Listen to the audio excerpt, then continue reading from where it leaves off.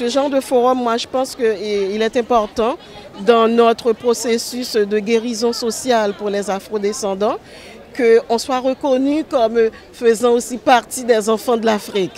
Vous voyez, parce que nos, ancêtres sont partis, ils n'avaient pas le choix. Mais nous, donc, ils ont, fait le, ils ont fait un départ douloureux, un départ atroce.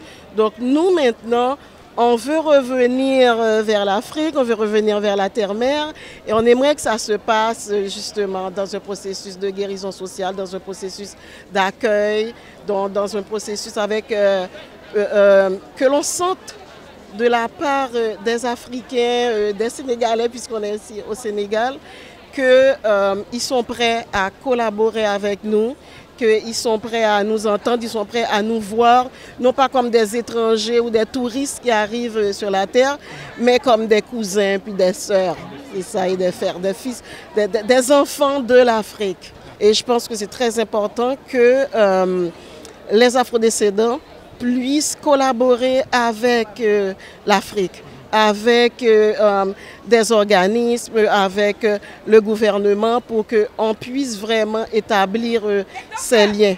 Pour que, même économiquement, je pense que ce serait bien pour nous.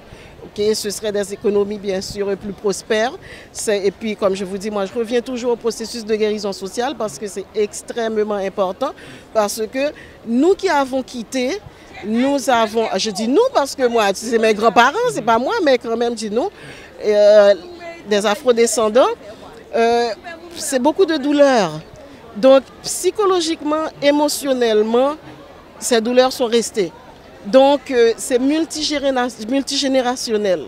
Donc on vit encore des choses. Et vous savez, c'est comme si la mémoire des souffrances d'avant est restée imprégnée en nous. Donc, euh, ça peut créer toutes sortes de troubles euh, émotionnels et psychologiques. Euh, il y a des tristesses que l'on ne comprend pas, il y a des colères que l'on ne comprend pas. Donc, émotionnellement, psychologiquement, se soutenir, être ensemble, c'est sûr que créer des liens de confiance entre soi, c'est sûr que ça ne peut que faire que l'on se sente mieux et que ça améliore nos relations.